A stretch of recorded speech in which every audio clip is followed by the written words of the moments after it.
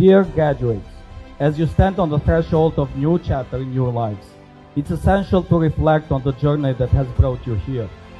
Your time with us has been marked by intense study, rigorous coursework, and countless hours of collaboration.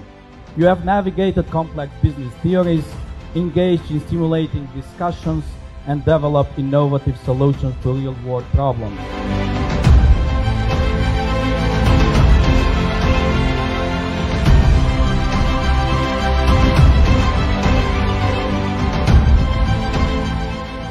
Closing, I hope your time with us has been a transformative and rewarding experience. May it remain a cherished memory in your hearts and the foundation upon which you build your future success. As you venture into the world, remember that you carry the spirit of IBUS and MGW with you, a spirit of curiosity, innovation, and excellence.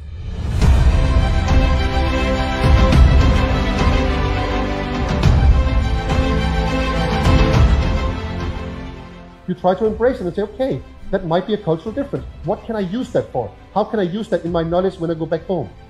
I hope some of you see the point is not just a little example, but every time you go around, everywhere you go, everywhere you, everything you do, talk together, talk together as a family, as my global world family, try to learn from each other, try to see if you can embrace this great world that you're part of. That's a part of my global world education group. That's what we're really all about. That's what IBAS is about. That's what IBSS is about. That's what the senior is about. That's what Western State University is about. That's what all my schools are about, is to try to see how can we all learn from each other.